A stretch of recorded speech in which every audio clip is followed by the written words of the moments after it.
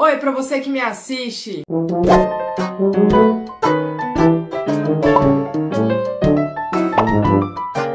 Bom pessoal, antes de começar esse vídeo, já deixa o seu like, se inscreva no canal se você ainda não for inscrito e ativem o sininho para vocês nunca perderem quando eu posto vídeo novo. E no vídeo de hoje a gente vai falar sobre usar aparelho na época da escola. Que é a mesma coisa que você pegar uma placa e colocar na tua testa. Faça bullying em mim. Mentira! Porque hoje em dia existe aparelho de tudo. Existe aparelho falso, aparelho transparente, aparelho colorido, aparelho que você só enxerga se você vê a pessoa em 4D. Gente, mas você acha que na minha época tinha isso?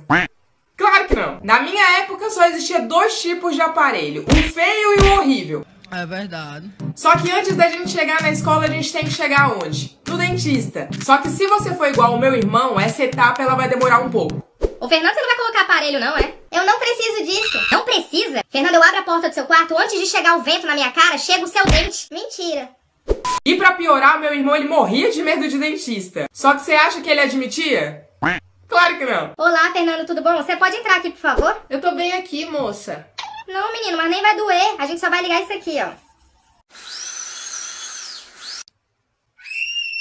E aí, quando você finalmente coloca o aparelho, começa tudo de ruim na tua vida. Seu dente dói, rasga sua boca. Se você bebe água, você tem que passar fio dental. Porque a impressão que dá é que junta tudo aquilo ali que parece que você comeu um javali. Mentira! E você acha que isso aí é o pior de tudo? Não. O pior de tudo é que você adquire também um tique nervoso. Que só quem colocou o aparelho sabe do que eu tô falando. O quê?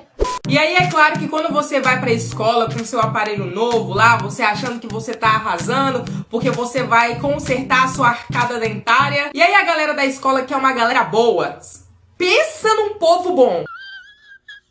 Eles vão te receber com todo amor e carinho. E olá, sorriso metálico. Ô, tu é fã do Homem de Ferro, é? A linha do trem passou na tua boca, foi? Isso aí abre latinha, viado. Caralho, é até feia. Agora imagina, gente, se já era difícil pra gente que usava um aparelhinho ali normal, suave, imagina pra aquela galera que tinha que usar um aparelho chamado Freio de burro. Já avisei que vai dar merda isso. Ô moça, mas eu tenho que usar realmente isso, vai. Não posso tirar nem pra ir pro colégio. Imagina tirar, você vai ter que dormir com isso também. Então tá bom, mas é muito grande?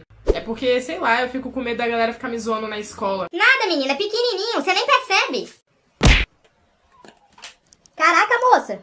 E é claro que eu não posso esquecer do quê? Do aparelho móvel, porque aquilo ali, aquilo ali era seu melhor amigo, principalmente na hora do intervalo. Eu só tenho que guardar meu aparelho aqui. Ai, meu Deus, não sei onde é que eu guardo esse troço. E pode reparar que a pessoa nunca limpava aquele diacho daquele aparelho direito. Ih, caramba, caiu no chão. E só de pensar que eu passei três anos usando aparelho. Que na verdade parece que foram 30. Só que apesar de ter passado tanto tempo com o aparelho, a minha situação nos meus dentes não eram tão ruim. E aí é aquela coisa no dentista, parece que quanto mais a sua situação é de boa, é tranquilo, pior pra você. Então, Isabela, eu tô vendo aqui que só a parte de baixo do seu dente é torta, né? Você vai passar, assim, três anos com o aparelho, tá? Nem pense em aparecer aqui com os bretes quebrados, senão eu quebro tua cara. E nada de balinha, nada de chiclete, porque senão eu faço um canal nesse dente aí sem precisar.